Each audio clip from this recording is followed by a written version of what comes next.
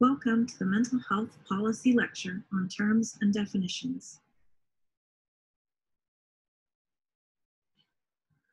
There are multiple terms used to define the phenomenon of mental health.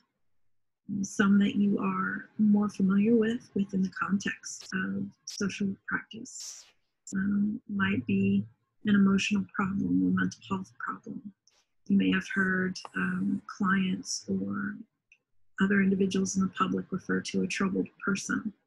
Um, some more technical terms might be a psychiatric disability, um, developmental disability, or an SMI, severe mental illness, emotional disturbance. Regardless, all of these terms are referencing some degree of positive or negative uh, symptoms associated with mental health. The Surgeon General defines mental health as a state of successful performance of mental function, resulting in productive activities, fulfilling relationships with other people, and the ability to adapt to change and to cope with adversity. Mental health is indispensable to personal well being, family and interpersonal relationships, and contribution to community or society. Furthermore, the Surgeon General defines mental illness as the term that refers collectively to all diagnosable mental disorders. Mental disorders are health conditions that are characterized by alterations in thinking, mood, or behavior, or some combination thereof, associated with distress and or impaired functioning.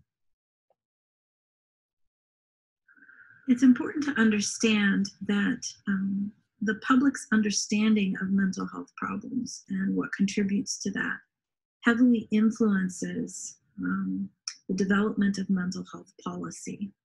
This table outlines um, the general consensus uh, as of 1996.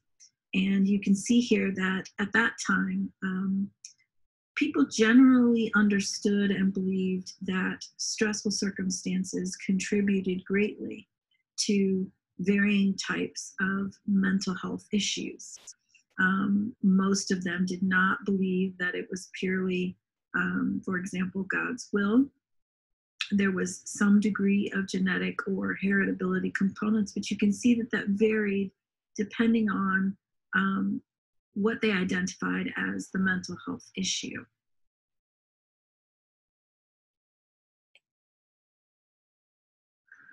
In this slide, we can see a comparison of how the public's perception and beliefs about mental health problems have changed since 1996 to 2006. Uh, for example, if you look at uh, chemical imbalance, you can see a shift in um, an increase. More people now believe that there is a chemical imbalance as well as a genetic component to mental health issues like schizophrenia, major depression, and alcohol dependence. However, there are some other things also that aren't necessarily backed by science um, that have seen an increase. And one of those would be the idea of bad character and how, for some reason, that's more assigned to a contributing factor for alcohol dependence as opposed to um, perceptions in 1996. Also, an increase in the way that a person was raised. Um, the idea that somehow that's influencing alcohol dependence. So it's just important to understand that uh, the public's perception of mental health um, influences the development um, and changes in mental health policy, and that the public's perception changes over time.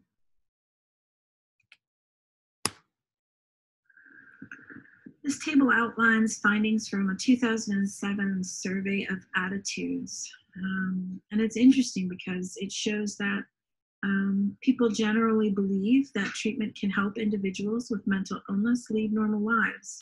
However, they're not so confident in the belief that people are generally caring and sympathetic to people with mental illness.